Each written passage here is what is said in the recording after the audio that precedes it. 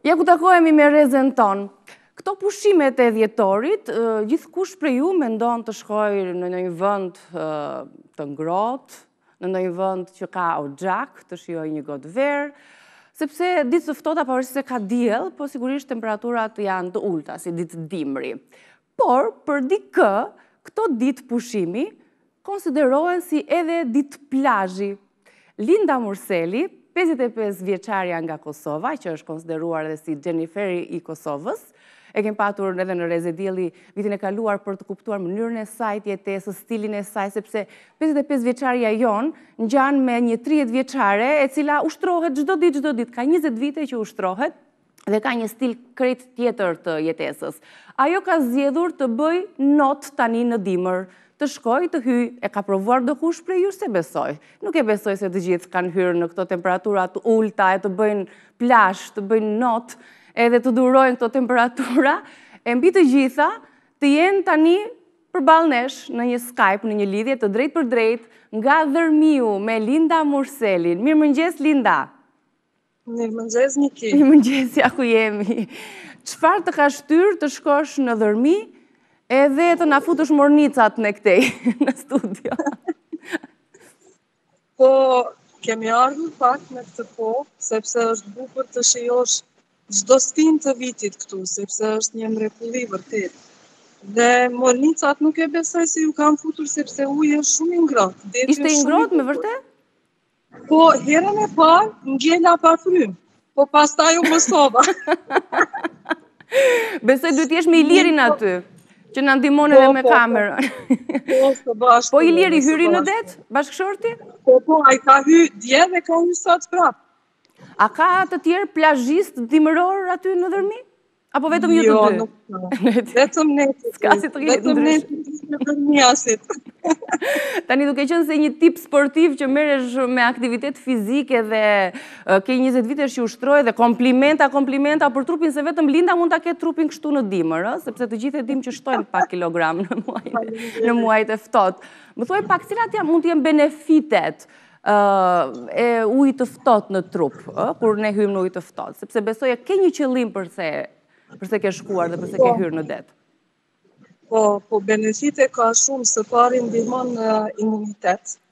Uh, pastaj është shumë i mirë do të thotë për lëkurën, ë, është uji i ftohtë i cili të tendos, të ngre lëkurën, dhe imuniteti dhe duhet të ketë dhe benefite të tjera, po këto janë dy që unë i di dhe që më, më pëlqejnë t'i kem që të dyja. E ke praktikuar dhe dimra të tjerë, apo është hera e parë? Më fal? E ke praktikuar këtë metodë edhe në dimrat e tjerë, pra në ditë të tjera të ftohta? Po,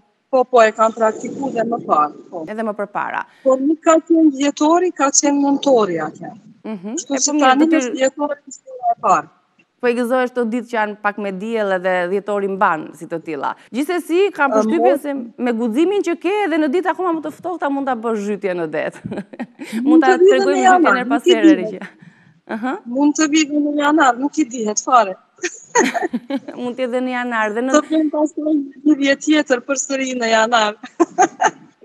Sa shënojnë temperaturat tani aty? Duhet të jetë sot, duhet të jetë diku rreth 13-14 gradë. Tani nuk e di, por në diell është ngrohtë. Mhm. Deri te dreka besoj, pastaj ulen më shumë temperaturat. Pastaj fillon të ftohet një çik, po. Mirë, Linda, jemi në, në fund të vitit edhe sigurisht festat vijnë ndryshe në familjen tënde. Ku do t'i festoni një herë? Edhe çfarë ke menduar të përgatish se e di që je një amvisë shumë e mirë? Uh, festat do t'i festojmë uh, së bashku me familjen, si çdo herë tjetër. kurse në Prishtinë, normal. Mm -hmm. Çka do pregatis, nuk e kam vendos ende, por do ju informoj. do të bësh baklavan, ëmbëlsirën e Jo baklavan, nuk po unë baklava. po të ngacmoj pak, se e di që ruan linjat, e di që je e kujdesshme. Po gjithsesi po, të... jo, duhet prish, duhet prish pak uh, regjimin për për vitin e ri, patjetër. Se më pas ushtrohesh Ushtrohesh. Sa orë në ditë, ta rikujtojmë pak atë ditën tënde të ngarkuar, po të ngarkuar në mënyrë aktive, shumë aktive, duke u stërvitur vazhdimisht.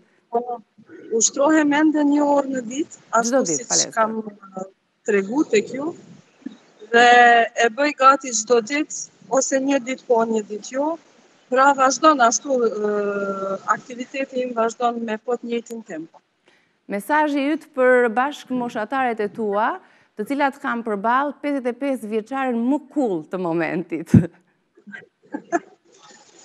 Po, të hyjnë të bëjnë një not në ujë të ftohtë. Po ju kisha ta provojnë.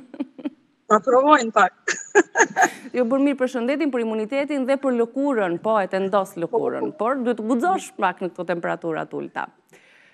Mirë, po.